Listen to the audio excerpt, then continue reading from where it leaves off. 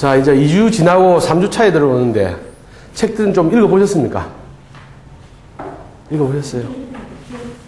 아, 안 나는 게 정상입니다. 예, 예. 읽긴 읽었는데 기억 안 나면 돼. 근데 안 읽어본 거, 안 읽어보고 기억 안 나는 거하고 읽었는데 기억 안 나는 거하고 차이 많이 납니다.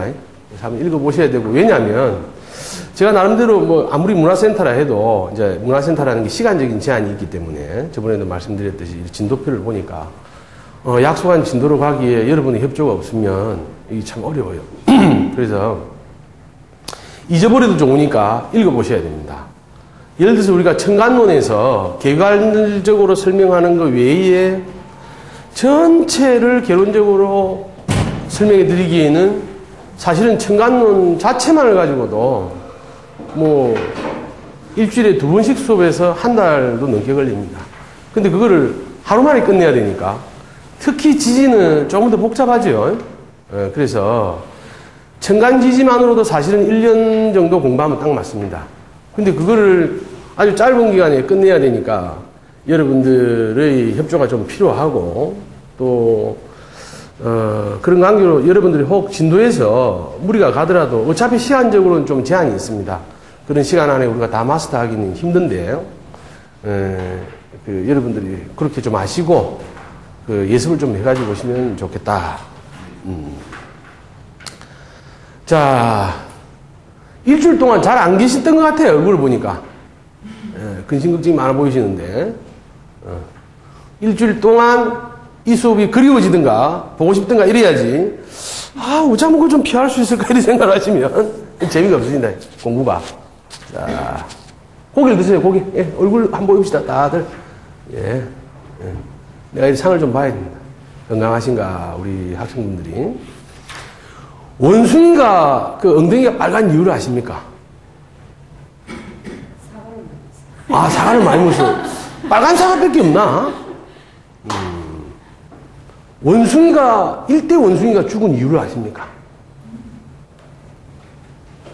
그, 동물나라에, 동물나라에 사자가 왕이잖아요. 환갑잔치가 돼가지고 모든 동물들이 에, 각양각색의 선물을 들고 사자한테 찾아갑니다. 그래서 토끼, 노루, 닭, 뭐 말 이런 종류의 동물들은 그래도 눈치 정보가 좀 빨라가지고 사자가 좋아하는 고기를 좀 사가갔어. 근데 이 원숭이는 지 쪼대로 생각하다 보니까 참외 세 개를 들고 왔어. 그래 사자가 볼 때는 그거 아닌가 봐요. 그래가지고 야 말로 봐. 니 지금 다른 사람들, 다른 동물들이 갖고 온 건 안 비나 이러면서 미워가지고 사자가 밉다고 원숭이 똥구멍에다 참외를 한개 쑤시었어. 여러분, 원숭이 똥구멍에 참외를 한개 쑤시면 아플까요? 안 아플까요? 되게 아파가 죽겠는데 딱 언덕을 보더만 씩 웃어. 그 사자가 기분 좋겠나 나쁘겠나? 이 새끼가 죽으라고 똥구멍에다가 참외를 쑤시었는데 아파가 죽, 죽어가면서도 막 웃는 거야. 언덕을 쳐다보더니. 그래, 밉다고, 일로 봐라 해갖고. 한 개 더 였어. 얼마나 아프겠노? 여러분, 똥꼬에 참외 두 개 들어갔다 생각해봐라. 응? 그런데 이게 곧 죽어가면서 반성을 해야 될 놈이 또 언덕을 딱 쳐다보더만, 킬킬킬 막 웃는 거야. 니는 안 되겠다. 니는 완전히 니는 가야 되겠다. 참외 세 개가 다 쑤시 엎었어. 그 원숭이가 거의, 거의 신음을 하면서 죽어가면서도 언덕을 딱 보다가 웃다고 팍 죽었어. 그래서 원숭이 똥구멍이 빨간데, 왜 언덕을 보고 웃었을까요? 왜 언덕을 보고 웃었을까요? 여러분 똥꼬에 참외 세 개가 들어간다고 얼마나 죽겠어. 그런데도 그런데도 세 개째 쑤시는데 언덕을 보더만 더 웃고 죽었어. 왜 그럴까? 누가 그랬을까? 왜 그럴까? 아시는 분? 자기 자신을 생각하니까 웃어. 자기 자신을 자기 자신을 참여 한번 세개 가고 보실랍니까? 저 언덕에서 고릴라가 내려오는데 호박 세 개를 들고 내려오는 기라. 지 똥꼬에 참외 들어가는 것보다 고릴라 똥구멍에 호박 들어갈 거 생각하니까 무섭다 이기라. 그 인간이 그래요. 인간이 곧 죽으면서도 행복과 불행은 상대적이더라. 내 똥구멍에 참외 세개 돌아가 곧 죽으면서도 너무 똥구멍에 호박 들어갈 거 생각하니까 막 웃음이 난단 말이야. 이게, 이게 참 우스갯소리지만, 인간이 가진 행불행의 관계는 대부분이 절대적인 관점에 있지 않습니다. 상대적인 관점에 있어요. 내보다 똥구멍 더 째질 고릴라를 생각하면서도 생각하면서 죽으면서 웃을 수 있는 원숭이를 생각해 보세요. 근데 그 원숭이나 우리나 똑같아요. 똑같단 말이에요. 자, 지금 제가 설명드린 거는 저번 시간에 우리가 공부한 오행의 상생 상극에 대한 이야기입니다. 그 원숭이 궁디에 참외 넣어가 죽는 거 하고 고릴라가 호박 들고 오는 거 하고 저번 시간에 배운 상생 상극의 원리가 뭐 이해가 안 된다. 그거 이제 그게 이해가 되면 공부가 끝나신 거야. 가방을 싸서 집에 가셔도 돼. 여러분 그 아차산의 전설 아십니까? 서울에 가면은 아차산 있죠? 워커힐 뒤쪽으로 있는 산이 그 아차산인데 아차산 안 들어보셨습니까? 어, 그럼 할 수 없이 지금부터 알아야지 뭐. 서울에 가면 아차산이 있는데 조선 명종 때 홍계관이라는 홍계관이라는 점사를 아주 잘 날리는 분이 계셨어. 얼마나 유명했냐면은 궁중에 있는 일반인들이 아는 것뿐만이 아니고 궁중에 있는 나인들도 몰래 야음을 틈타서 홍계관이를 만나가지고 미래를 묻고 어떤 현실의 어려운 점을 점사를 어, 그 부탁하고 있단 말이지. 그게 이제 임금기에까지 들어왔어. 홍계관이가 그렇게 대단히 인간의 어떤 그 미래와 현재, 과거를 알아맞힌다는데 나인들까지 밤 몰래 나가서 궁을 나가서 보고 올 정도로 하니 임금의 입장에서는 혹세 무민하는 혹세 무민하는 그런 어떤 상황을 정리해야 되겠다 해서 홍계관을 궁으로 잡아들이게 합니다. 그리고 이제 잡아들이는데 뭘 죽이려면 이유가 있어야 되죠. 그지? 다 아까 고기 사왔는데 참외를 사왔다든지 뭐 이유가 있어야 돼. 그래서 박스에다가 지를 넣어놓고 묻습니다. 네가 그렇게 점사를 잘 날린다는데 이 박스 안에 뭐가 들었노? 홍계가 탁 찌가 들었습니다. 찌라 해야 되나? 쥐라 해야 되나? 아, 쥐. 어, 그렇지. 우리가 가능한 한 표준말을 써야지. 찌새끼가 들었는데.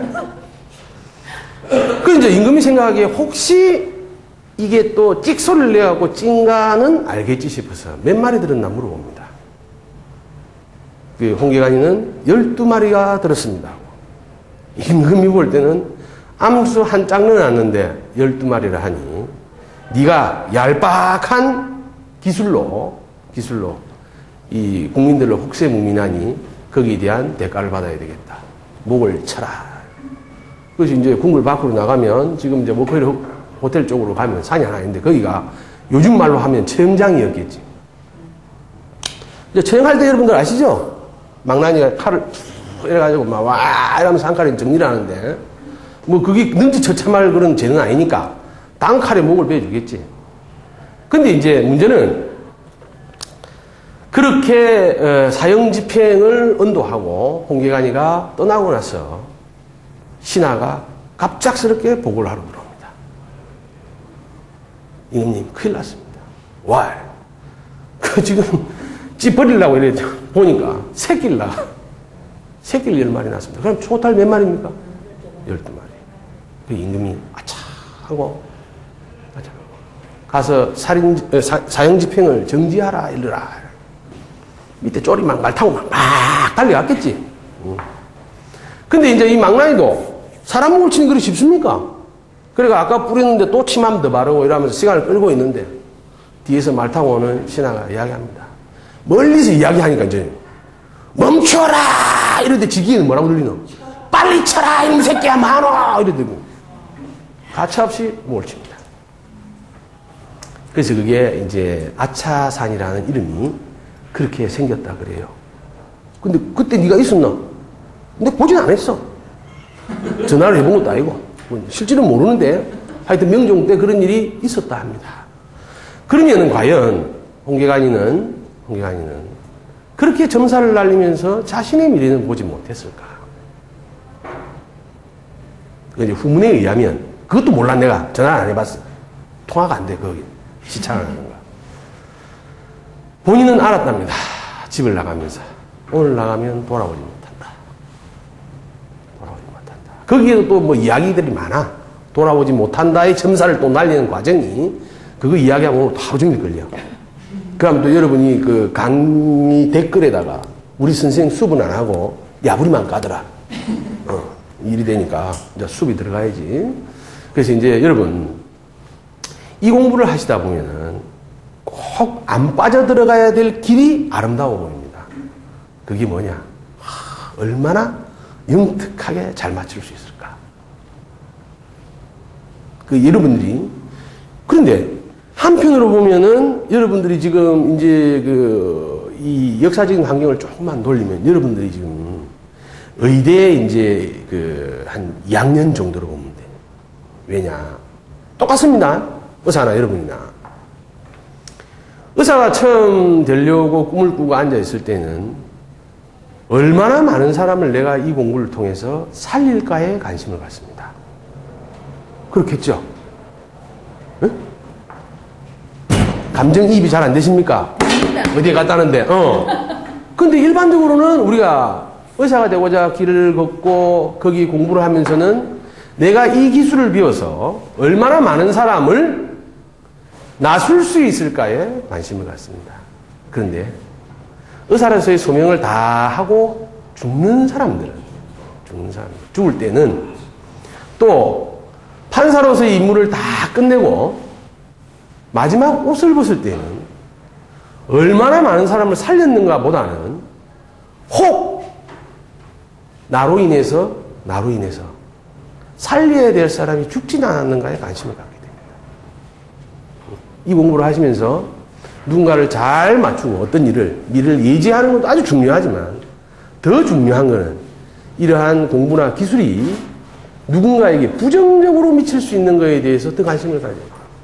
우리 대부분 병원에 가서 나서면 나올 때는 선생님 고맙습니다 하지만은 나와서는 어떻게 생각해? 내 팔자가 좋아서 내가 원래부터 그렇게 시키 죽은 놈이 아니야. 남들은 암 6개월 만에 간다 했지만 난 살잖아.